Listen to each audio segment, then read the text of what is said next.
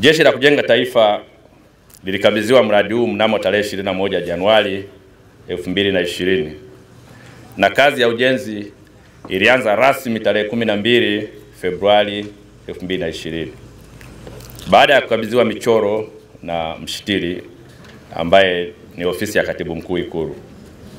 Mradi unatarajiwa kukamilika na kukabidhiwa ifikapo mwezi Disemba mwaka 2020.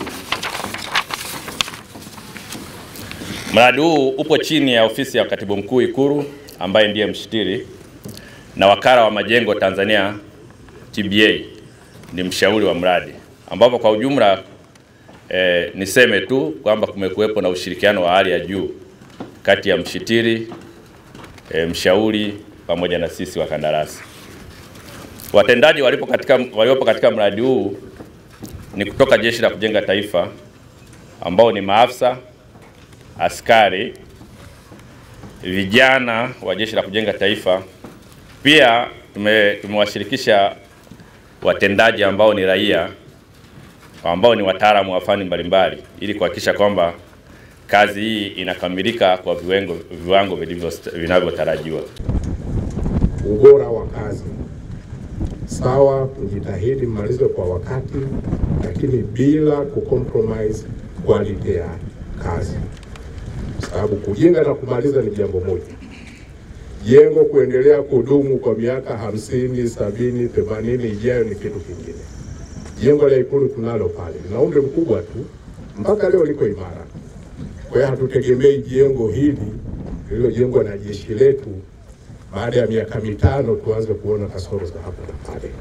Kwa hiyo tuliamua kwamba wenzetu wa jeshi tukiwapa hii kazi, hata quality yake itakuwa kama ile ama zaidi hata ya ile. Kwa hiyo mnapofanya kazi siku zote, naomba myakumbuke hayo: usalama, muda, gharama. Muda kwa maana ya kwamba muda uwe mfupi wa kumaliza, gharama, lakini na ubora wa kazi yenyewe. Mmejikomiti kwamba kufikia Disemba jengo litakuwa tayari. Mimi naamini hiyo kauli ni thabiti, lakini kama mtaweza kumaliza mapema kabla ya hapo pia tutafurahi zaidi, lakini msivuke, msivuke. Jeshi mna kila mbinu za kujiajia.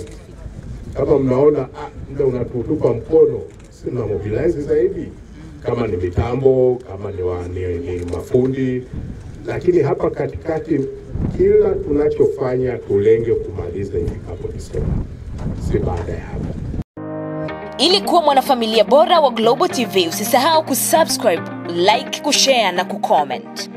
Baada ya kusubscribe, bonyeza alama ya kengele ili kupata taarifa kwa kila video inayopanda Global TV Online.